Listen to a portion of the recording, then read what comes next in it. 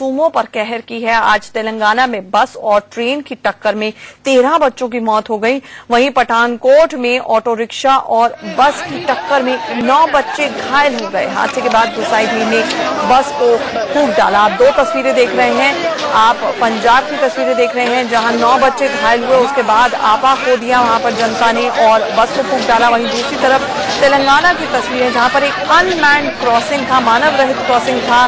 Railway का ये बस स्पीड पर भगा के लेकर जा रहा था बस का ड्राइवर, जो बताया जाता है कि बिल्कुल नया ड्राइवर था और वो बस जो है वो भिड़ गई ट्रेन के साथ और उसके बाद तेरह बच्चों की मौत की ये दुखद खबर आई है। सबसे पहले तेलंगाना की बात कर लेते हैं हम लोग। तेलंगाना के मेंढक में स्कूल, बस और ट्रेन के बीच में टक्कर हुई। तेरह बच्चों की मौत हो गई और पंद्रह से ज़्यादा बच्चे घायल हुए हैं। बस नांदेड़, हैदराबाद पैसेंजर ट्रेन से टकराई है। बताया जा रहा है कि बस में 40 से 50 बच्चे सवार थे। मानव रहित क्रॉसिंग पर ये टक्कर हुई है।